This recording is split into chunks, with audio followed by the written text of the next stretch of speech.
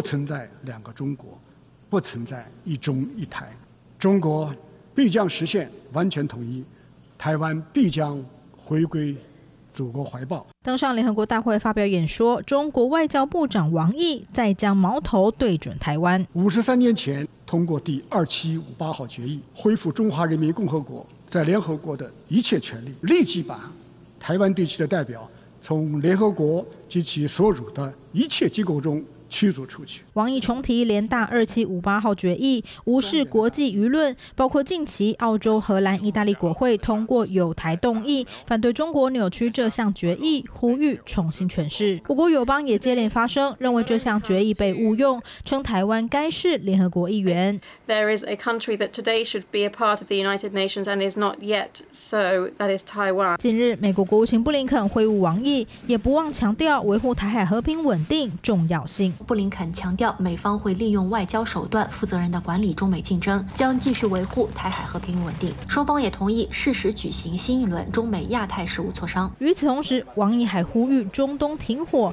分析认为，北京想与华府竞争全球调节角色，塑造世界和平缔造者的形象。然而，一边高喊提倡和平，一边却积极发展军备，恫吓威胁台湾，在国际地缘政治操作两手策略，恐怕早已被各国看穿。三立新全部报道。五十三年前。